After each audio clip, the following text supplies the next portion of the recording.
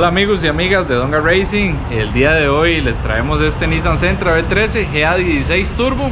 Eh, hace unos días nos pidieron un proyecto como este en el canal y bueno, no habíamos comentado nada al respecto, pero ya teníamos días de venir trabajando en este. Este proyecto es de nuestro amigo Pablo Barbosa, ¿verdad? Eh, pueden visitar su Instagram o su página en Facebook también, ¿verdad? Ahí lo pueden encontrar, vamos a dejar el link aquí también. Y bueno, vamos a, a contarles un poco, ¿verdad? De este proyecto.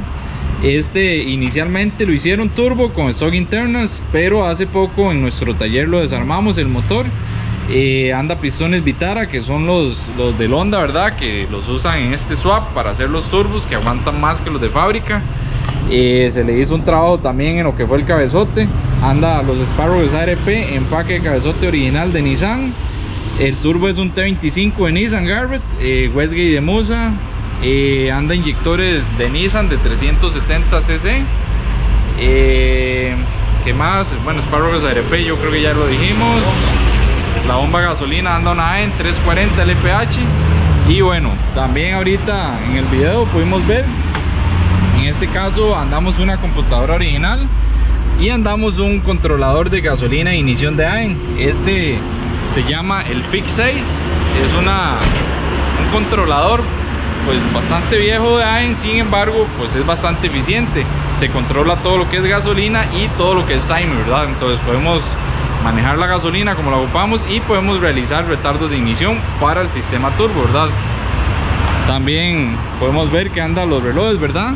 los AEN en lo que es Wyban y los Autometer en lo que es bus y presión de aceite y bueno, vamos a empezar a trabajar en este ya creamos un mapa base para lo que fue gasolina e ignición con los inyectores más grandes y ahora vamos a ir a ajustar todo lo que es la media y la baja. De momento tenemos un problema con él el conjunto de clutch que anda pues está fallando.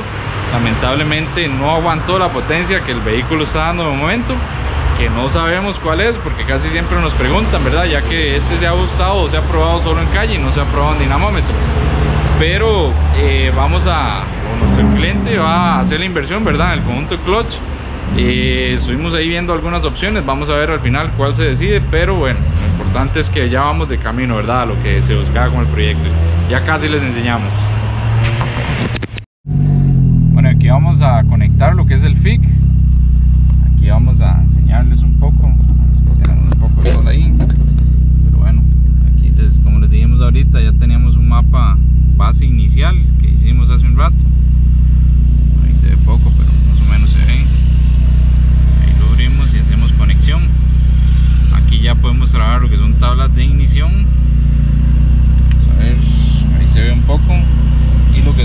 de combustible. Entonces bueno como dijimos verdad eh, el fix 6 de AIN lo que hace son correcciones al mapa original de, la computadora del carro.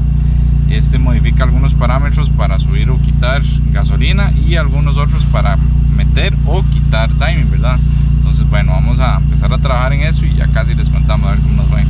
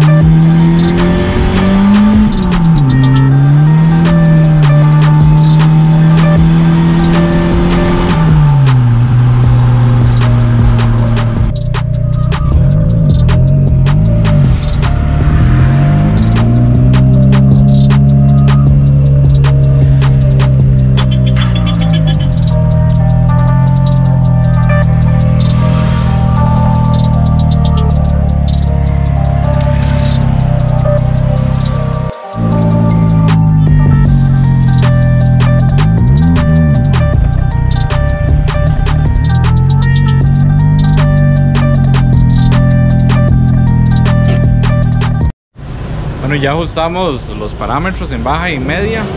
Tenemos un pequeño fallo electrónico, creo yo, con este Centra V13.